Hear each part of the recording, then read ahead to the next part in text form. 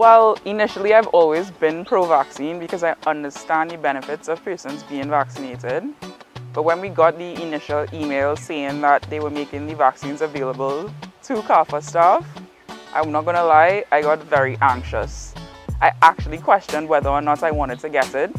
And then I reminded myself of what could possibly happen if I don't. I have two very, very young children who would end up without a mother. You know, so that kind of pushed me to remember why this was very important.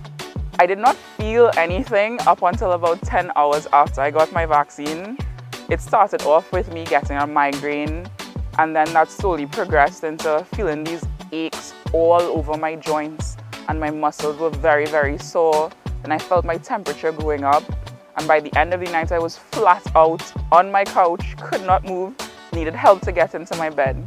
I got my vaccine on a Thursday, you know, had this horrible experience um, 36 hours after and bright and early on Saturday morning I was up like nothing happened. So you know that just kind of reassured me that while it was a, a small amount of time that had me uncomfortable, I would prefer to go through that than to spend time in the hospital or you know even passing away.